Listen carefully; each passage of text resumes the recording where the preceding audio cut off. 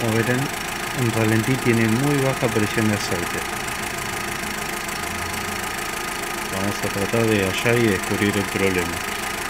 Vamos a sacar la bomba de aceite de la Volkswagen Suram. Primero hay que sacar el aceite, luego desarmar la distribución.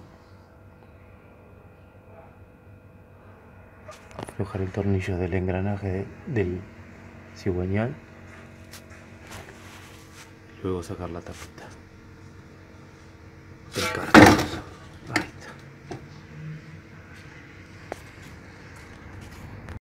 está. Acá sacamos el engranajecito de la distribución, el tensor y la correa el chupador de abajo, que está bien el sello, el sello de goma, no chupaba aire por ahí porque a veces puede pasar. Y el chupador está perfectamente limpio, no está tapado. Luego sacamos los, los cuatro tornillitos de abajo que agarran la base de acá de la bomba de aceite, que van tres del lado de adentro del cárter y uno por fuera. Y luego los tornillos que restaban del frente, porque dos van agarrados con la tapa de la distribución. Y ahí ya podemos desmontar la bomba de aceite. Vamos la, bomba de aceite.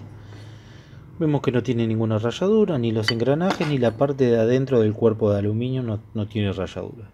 Luego verificamos de que acá la válvula de alivio no se esté trabando y no, se mueve perfectamente el pistón ya que como ven acá tiene una una tapita inviolable donde va alojado el resorte y donde va metida la válvula obviamente así que en este caso la bomba no es el problema de presión de aceite. Ya verificada la bomba que está bien verificado el chupador que también está bien y que el sello de acá que va acá está bien. Nos resta verificar en la tapa de cilindros sacar la tapita de arriba que es la bancada del árbol de levas y verificar si, si no está rayado. Si es que ahí está rayado es muy probable que por ahí tengamos la fuga de presión de aceite en caliente bueno eh, más adelante vamos a desarmarlo y mostrar y corroborar si ahí tenemos el defecto bueno, aquí sacamos los tornillos de la tapa que aprieta la leva. Acá lo vamos a retirar. Y nos encontramos con esto. Voy a enfocar bien para que vean. La leva está muy rayada, pero muy rayada. En la parte de bancadas. Tiene un escaloncito. Por ahí no lo pueden llegar a apreciar con la cámara, pero tiene un escaloncito importante. En por lo menos las cuatro. Aquí adelante no tanto, pero en estas cuatro tiene. voy a mostrar la tapita, miren cómo está rayado. Muy rayada. O sea que la, la tapita que hace de bancada también está rayada. vamos a sacar la leva. Fíjense, ya las levas no son macizas, son, son huecas. Tal vez el material sea más blando que las macizas.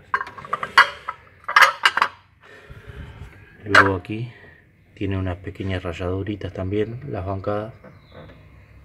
Y bueno, acá hemos descubierto el problema de la fuga de presión de aceite en caliente. Vamos a tener que, que sacar la tapa de cilindros para, para buscar una solución.